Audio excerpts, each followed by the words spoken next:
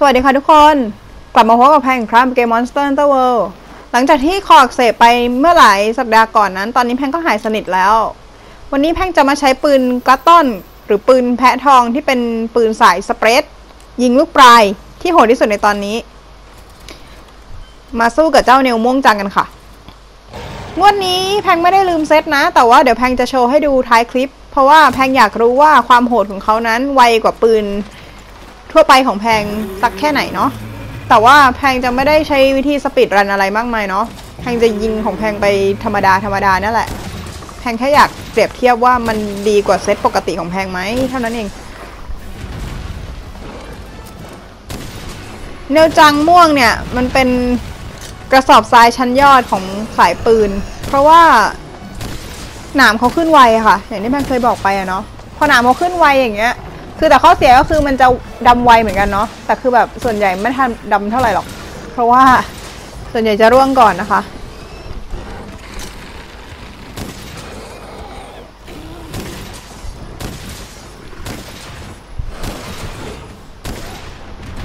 ผ้าคลุมที่แพงใช้นั้นคือ ผ้าคลุม Impact เนาะก็คือสามารถทำให้ monster มึนได้ด้วยการโจมตีธรรมดาธรรมดา ก็เดี๋ยวก็น่าจะมึนอีกรอบแล้วค่ะ ไวเนาะปกติแล้วแพงจะยิงมึนได้แค่ประมาณครั้งกว่าๆเท่านั้นเองสำหรับ monster ที่ไวๆแต่แบบดูดิมึนอีกละถือว่า spread เป็นปืนที่ดีค่ะ ถ้าเป็น normal หรืออะไรทั่วไปเนี่ยแพงจะยิงติด 2 ครั้งได้ยากมากเลย อ่าเขาแตกแล้ว เก่งมากเจ้าแมว โอเค เห็นไหมมันจะมีจุดที่ทำให้เรามีจุดยิงอะค่ะ คือเป็นสีขาวอะเสมอ อะ เห็นไหม อแขนหล่นหัวก็งอกละคำรามไปเถอะ มีกันเสียงอยู่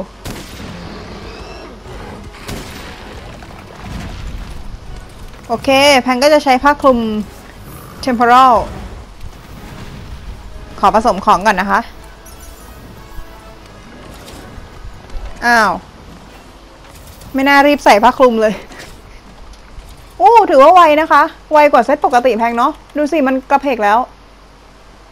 จริง ๆ ก็เสียดายรอยม่วงพวกนั้นอยู่หรอกแต่ว่านะ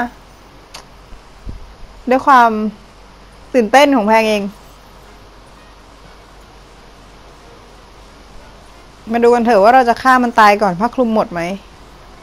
ด้วยความที่ปืนนี้ไม่สามารถจะยิงอะไรได้เลย เช่นกระสุนพวก cluster หรือว่าพวก Wyvernfire นะคะ ดังนั้นแพงก็จะปลุกเขาด้วย Wyvernsnipe แทน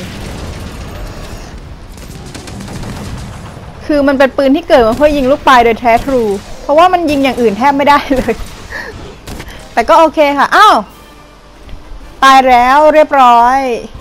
ก็แพงรู้สึกว่ามันไวมากเลยเนาะ เดี๋ยวมาดูกันตอนท้ายคลิปว่ากี่นาที อะ อันนี้เซตตามสัญญานะคะ ก็เซตที่แล้วแหละค่ะ ล้ายๆกัน แต่ว่าแค่แพงโมปืนเพิ่มเป็น close lens สองอัน แล้วติดสายลดลงเป็นเดเวียนน้อยลงมาหนึ่งก็ชอบกดไลค์ ใช่กด subscribe พบกันใหม่ในคลิปหน้า สวัสดีค่ะ